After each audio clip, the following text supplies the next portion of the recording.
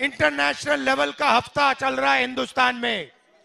और जो भी चू करता है ना, उसको अमित शाह सीबीआई ईडी ये डरा के चुप करा देता है। यहाँ पे यहाँ पे आप, मैं आपसे पूछता हूँ, यहाँ पे शिवसेना को एनसीपी को तोड़ा कैसे? ये हाँ मगर मगर कैसे? ये क्या आपको लगता है आपको आपको क्या लगता है? आपको क्या लगता है कि ये जो एमएलए भागे हैं, ये फ्री में भागे हैं क्या?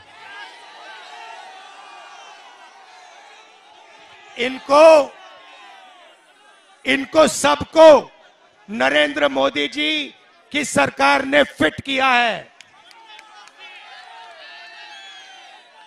इलेक्टोरल बॉन्ड में हफ़्ता लेते हैं और फिर महाराष्ट्र की सरकार तोड़ते हैं, गोवा की सरकार तोड़ते हैं, मणिपुर की सरकार तोड़ते हैं, अरुणाचल की तोड़ते हैं, ऐसा जहाँ भी इनको सरकार तोड़नी होती है। एक तरफ़ अमित शाह खड़ा हो जाता है, दूसरी तरफ़ अदानी खड़ा हो जाता है, तीसरी तरफ़ नरेंद्र मोदी खड़ा हो जाता है, और फिर इनका काम दो मिनट में शुरू हो जाता है।